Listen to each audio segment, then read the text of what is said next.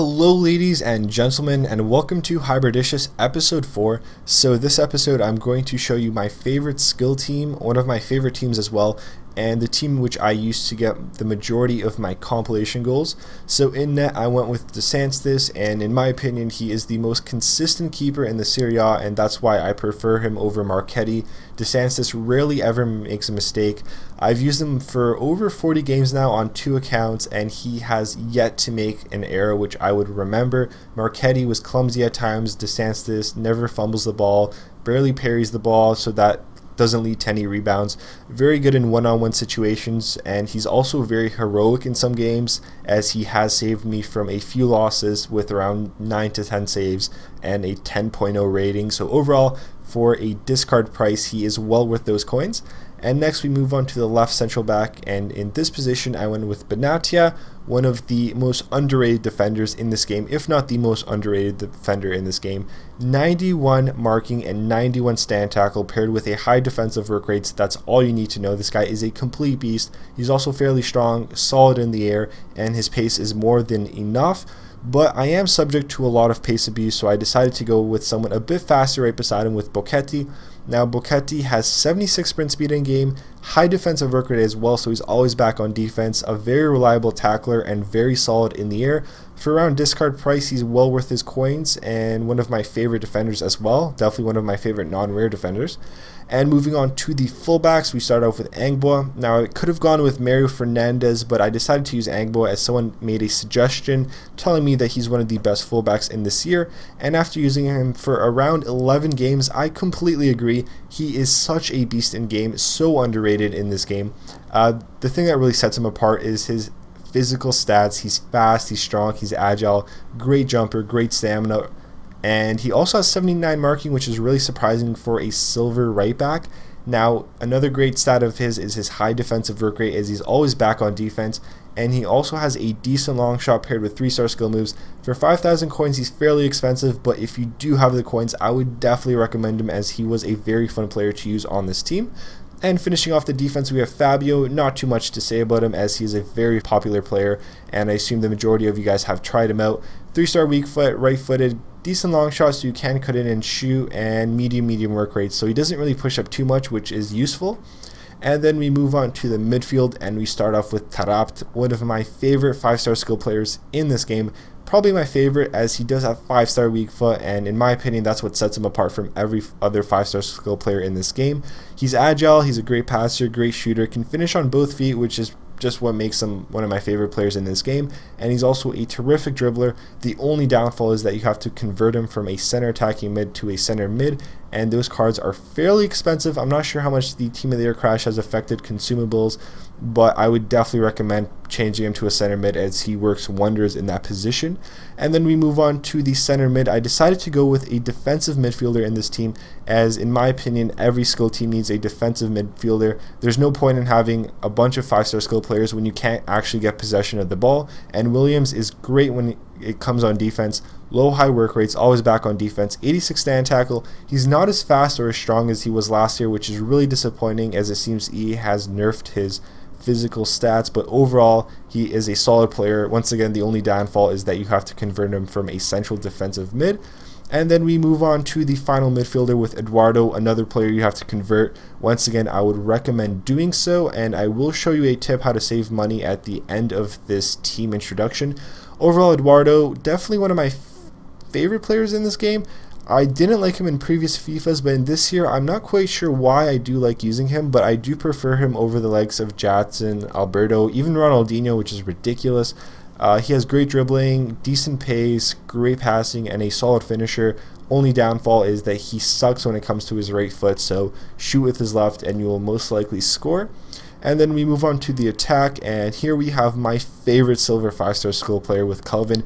He has some ridiculous in-game stats. I believe 95 agility and 88 dribbling. That is insane. Pair that with 5 star skill moves and his left foot on the right side, and you have a very fun player to use. Now, he does go for around 36,000. I believe he has gone down in price since the Team of the Year crash. Uh, you guys have to take in mind that I bought this team prior to the Team of the Year release, so all these players are obviously a lot cheaper now. But Danielino goes for around 80 90,000 when I checked, and he is a way better than Danielino, so I would definitely recommend him for that price tag. And then we move on to Yaya, originally a center attacking mid converted to a striker, and there's really no surprise why. 6'3, 83 strength, a great, great striker.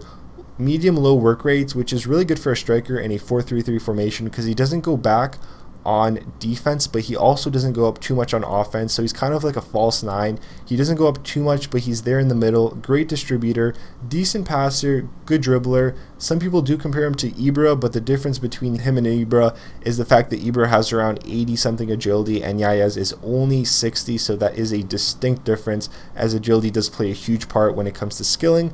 Of course, five star skill moves, really, really not decisive on his weak foot. Um, he doesn't score too many on his weak foot. I haven't really took too many on his weak foot because I prefer shooting on his stronger foot.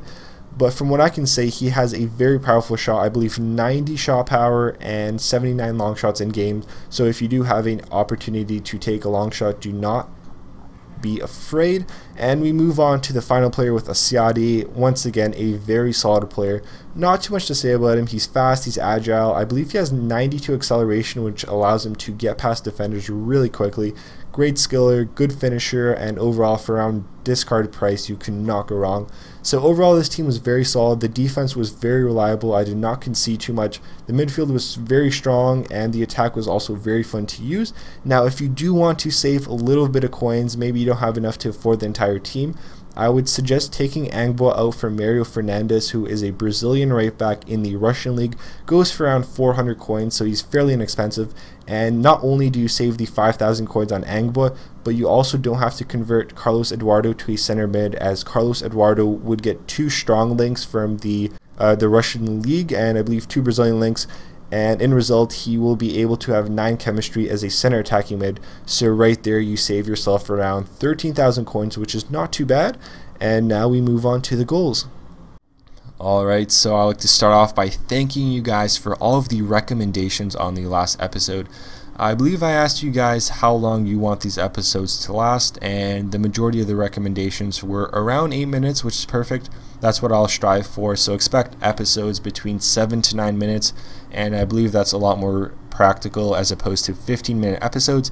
And what's that, Aguero? Suck it. Benatia just completely eats you. Get out of my house. As you guys can see, Benatia only has 66 pace, but 91 stand tackle never misses. His strength is just overpowering, and Aguero just got shit on. Moving on to other recommendations, I believe you guys gave me more suggestions for hybrids. Now, unfortunately, university starts in. I have my first class in 14 hours, so I don't have any more time to play FIFA, but if you guys do follow me on Twitter, I might start making hybrids and just posting them without making hybridicious episodes. So if you guys are interested in making a hybrid, I might just post one on Twitter randomly, and I will obviously have no desire to make a team or make a episode about it but you guys can feel free to try those out um, and I think that might work out a bit better.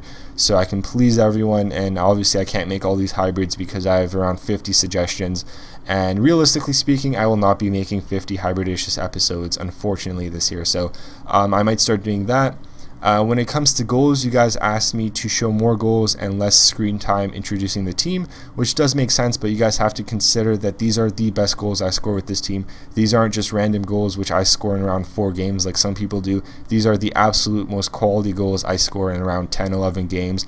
And I'm only showing you guys the highlights because I value your time and I'm not going to waste your time showing you guys a shitty putback goal which you can score against any team. So, I'm showing you guys high quality goals. As a result, you see less goals, but in my opinion, it's more entertaining. With that being said, I hope you guys have yourself a wonderful day and a good new year.